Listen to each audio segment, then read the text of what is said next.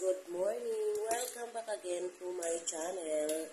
So dahil uh, mag-almusal na tayo, so gusto ko mag-almusal kami ngayon ng sopas. So, yan, tignan natin kung paano ako gumawa ng simpleng sopas lamang. Ito na po.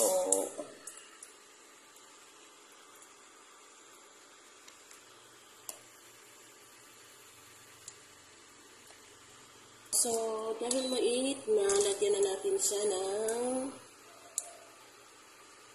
ayan, mantika ng oil.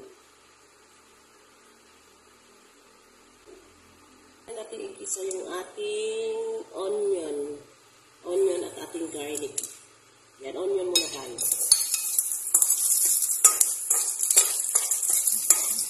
Inuna ko ang onion.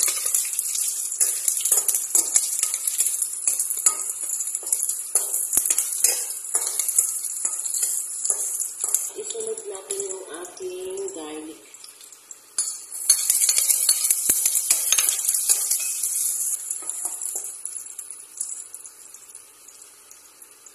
At hahaluan siya, mga ma'am, ng ah, manok.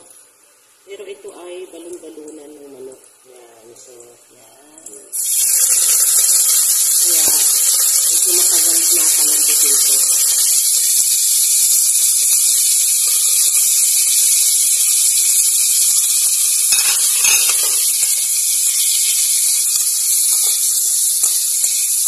Palambutin muna natin siya na husto.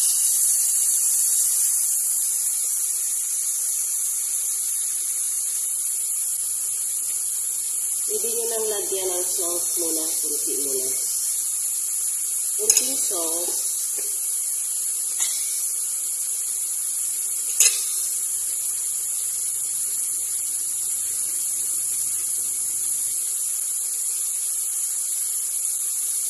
At lagyan natin siya ng chicken cubes.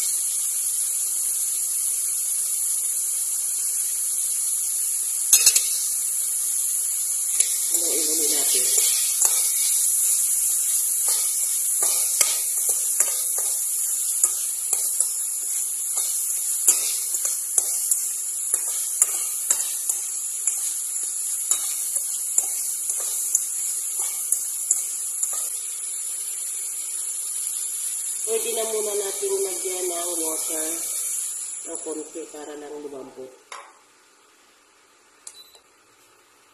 Cover muna natin mga ma'am.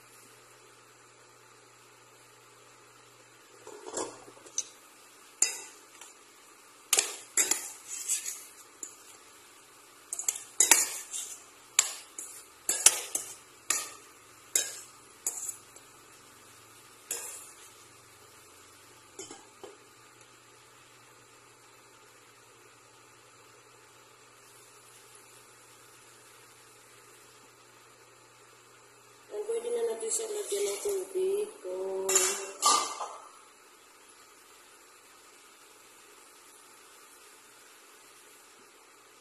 siya natin lagyan ng tubig kung ilan kung gusto nyo. Marami, marami.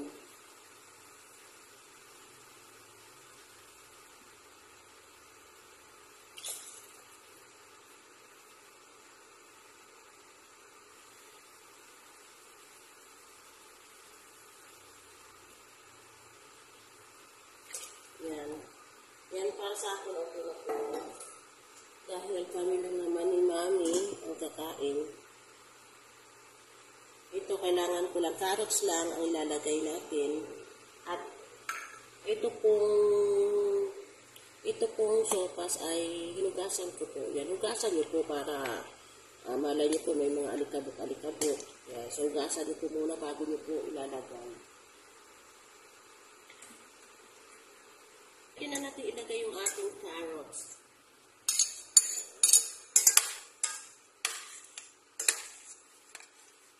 Kaya na po natin yung ating iba.